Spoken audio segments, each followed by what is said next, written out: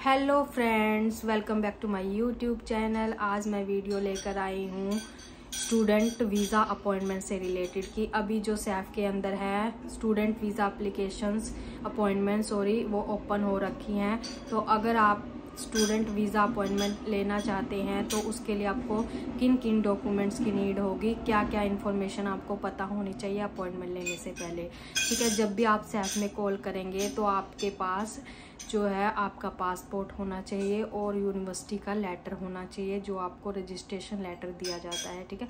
जब आप कॉल करते हैं यूनिवर्सिटी में तो वो आपसे सबसे पहले क्वेश्चन पूछेंगे आपका पासपोर्ट नंबर ठीक है? आपकी डेट ऑफ़ बर्थ उसके बाद वो आपसे पूछेंगे कि आप पुर्तगाल के अंदर कैसे आए हो, कैसे एंटर हुए हो, और आप पुर्तगाल में रह रहे हो अभी या कहाँ रह रहे हो, ठीक है? तो ये क्वेश्चन आपको पता होने चाहिए। और उसके बाद क्या होता है, वो आपसे पूछेंगे कि आपकी जो यूनिवर्सिटी है, वो किसमें आप एडमिशन ले, किसी स्कूल में ले रहे हो या यूनिवर्सिटी के अंदर ले रहे हो, ले रहे हो या किसी इंस्टीट्यूट पॉलिटेक्निक के अंदर ले रहे हैं, ठीक है? तो ये क्वेश्चन उनके होते हैं। तो आपको आपका रजिस्ट्रेशन नंबर पता होना चाहिए। अगर आपको अपना रजिस्ट्रेशन नंबर नहीं पता होगा तो वो आपको जो है आपकी अपॉइंटमेंट नहीं देंगे। तो आपको ये ये सारी डॉक्यूमेंट्स का पता होगा तो वो आपको ईजिली से आपकी अपॉइंटमेंट आपको इशू कर देते हैं, ठीक है?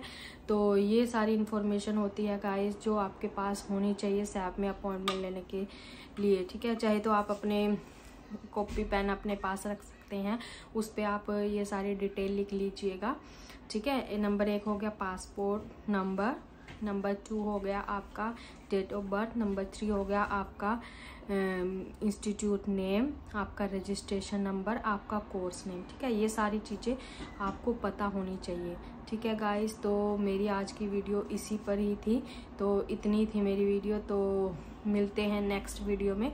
अगर आपको ये वीडियो अच्छी लगी तो इसे लाइक शेयर एंड सब्सक्राइब करना ना भूलें।